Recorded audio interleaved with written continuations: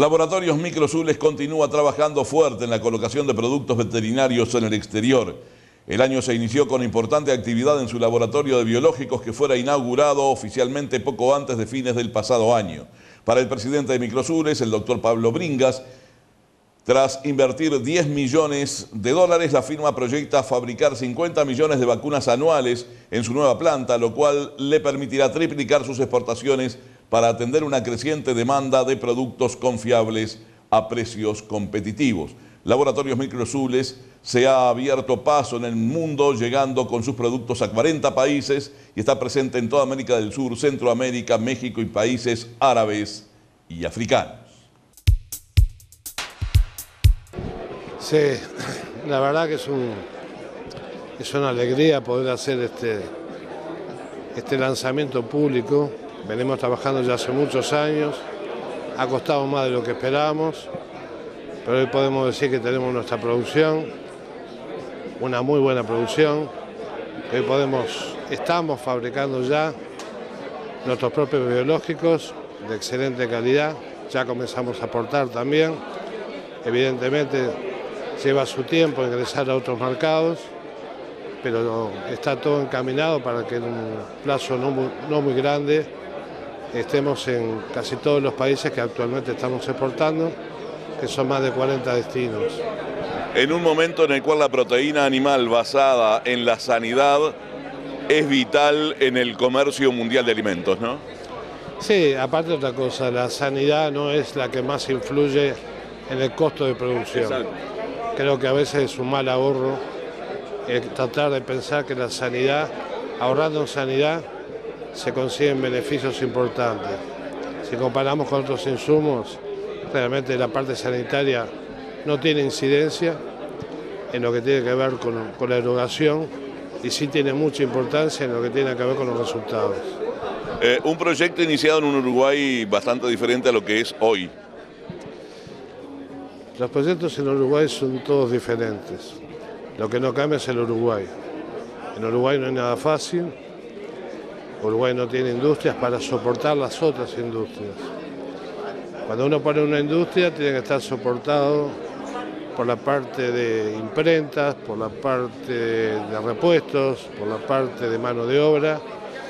Y yo creo que Uruguay lamentablemente eh, no está en las condiciones ideales frente a otras industrias instaladas en otros países más allá de variables como país caro, tipo de cambio, productividad, en las cuales en algunas podemos tener incidencia y en otras somos dependientes de, políticas de, país, eh, Uruguay ha perdido bastante en lo que tiene que ver con mano de obra especializada, eh, Uruguay no tiene capacidad de respuesta inmediata, eh, si se rompe una máquina hay que esperar repuesto en 90 días, y eso no pasa en los países vecinos que tienen industria de todo tipo. Entonces, por lo tanto, lo que es relativamente fácil en otro país, acá nunca es fácil. En ese contexto el desafío se convierte en mucho mayor, gigante diría yo, habida cuenta de todas esas dificultades que se ponen en el camino para llegar a la meta final.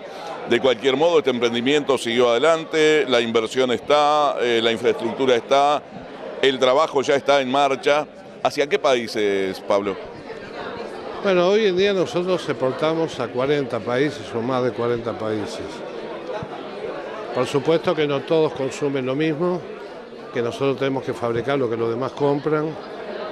Este, en esta primera etapa eh, ya tenemos eh, vacunas eh, polivalentes, clostridiales, estamos con la vacuna reproductiva, vacuna de Filot y todo un proyecto de desarrollo de múltiples vacunas para los diferentes mercados. Eh, como siempre, esta empresa está dimensionada para exportar. Eh, digo, 370 empleados en una empresa de productos veterinarios solamente para el mercado interno no es viable. Por eso es que somos dependientes, que permanentemente estamos buscando el ingreso con nuevos productos por eso queremos incorporar tecnología para poder estar presente en nuevos, países y, bueno, y a su vez tenemos otros proyectos más. Digo, en ese sentido nunca nos vamos a quedar sin ideas. En un emprendimiento como este, obviamente no mueve demasiado la aguja el mercado interno. De cualquier modo, el mercado interno es eh, abastecido también por, por microzules. ¿Cuál es el, horizonte que ustedes ven ahora con, con la obtención, además de productos eh, biológicos eh, fabricados por, por la propia empresa? Bueno, creo que ahora vamos a empezar fuerte en el mercado. Ecosol es una empresa agresiva comercialmente. Somos líderes en el mercado con los productos farmacológicos. Queremos ser líderes también con los productos biológicos. Somos la empresa uruguaya que va quedando, que, que puede tener el potencial para hacerlo. Y para nosotros el mercado interno es fundamental. Eh, primero porque bueno, somos una empresa instalada en Uruguay, este, somos lo que somos por los productores que nos han apoyado y queremos darle todas las soluciones posibles desde el punto de vista de la prevención de enfermedades infecciosas. Así que el mercado uruguayo nunca lo despreciamos y para nosotros es el punto de partida para el resto.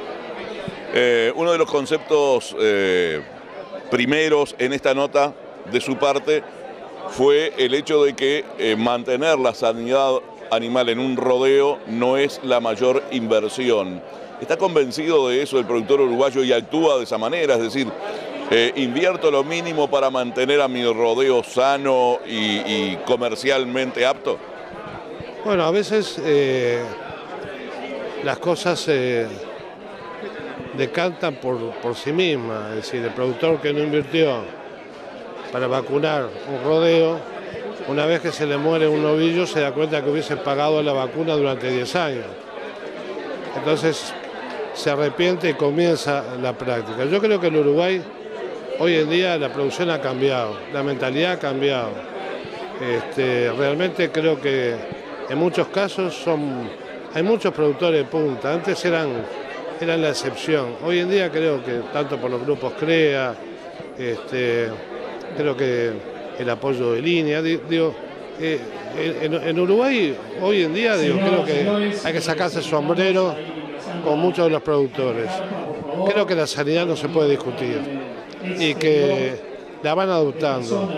Mismo las vacunas reproductivas han aumentado el índice de procreo. Y bueno, cuando ven que nace más ternero, es, es obvio que van a adoptarlo. Bueno, nunca el éxito está asegurado, pero el esfuerzo muchas veces es el preámbulo del éxito. Que así sea en esta oportunidad. No conozco nada que haya sido sin esfuerzo. Si alguien me da alguna cosa para hacer sin esfuerzo y sin las amarguras que, que lleva el camino para conseguir resultados. Y bien, amigas y amigos, por el momento es todo. Los esperamos en nuestras próximas emisiones para seguir compartiendo con ustedes nuestra pasión por el campo. Que pasen bien. Les esperamos.